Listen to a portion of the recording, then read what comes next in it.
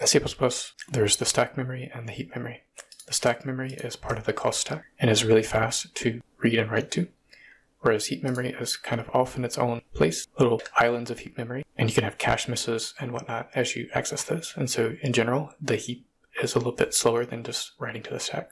And so, if we wanted to put a value on the stack, you can just create a value like this, and we have a value on the stack, and you can get an address to that value on the stack.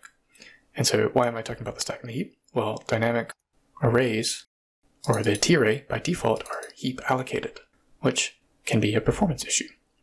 There's a special allocator called a TInlineAllocator where you specify a number of elements that should be on the stack instead of the heap.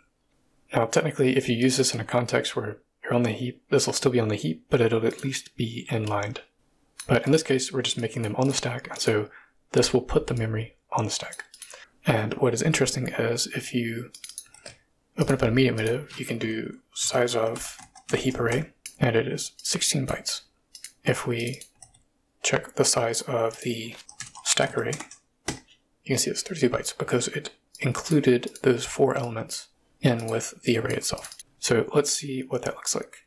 Once we set up the TArray, it behaves just like an array that's on the heap. So if I inspect this, we can see though that the array max is already at 4, and if I add to it, internally we can see that element 0 is 1, but what's different is if I get the address of the first element, I can copy that address and go to a memory view and paste the address. And we can see as I add to it, we saw a 2 be added to the memory.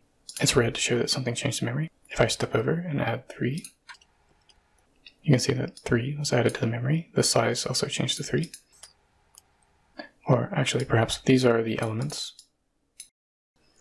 if we go to another memory view and I copy that stack address, we can see the addresses are relatively close in memory, so we know that we're actually operating on the stack between these two. Anyways, so what we will do is add a 4. And you can see that we added the element 4, the size of the array changed to 4. Now, what happens when we add a fifth element? So we've only allocated up to 4 on the stack, well, what it'll do is it'll default to pushing stuff to the heap. So if I add 5, we can see that some stuff changed here. This is probably a pointer to some place on the heap. It left the contents of the values on the stack there. But if we keep adding, so we avoid some resizes, once we've added everything, we can get some addresses. So if I inspect these addresses, you can see that this is now the address of element 4 the old address was this, and if I go over here, paste element 4, we can see that the addresses are in radically different locations. So the old heap address, 23D, and now we're somewhere off in memory space, putting stuff on the heap. And the addresses for the fourth element, you might think, oh, well, the first four, we will keep this on the stack, and then from 5 and up, we'll put this on the heap. But that would mean the memory isn't contiguous, which might break assumptions. And so if we compare the address of the fourth element with the address of the fifth element, we can see they are indeed both on the heap now. And so the inline one converted over from being a stack array to a heap array when this happened.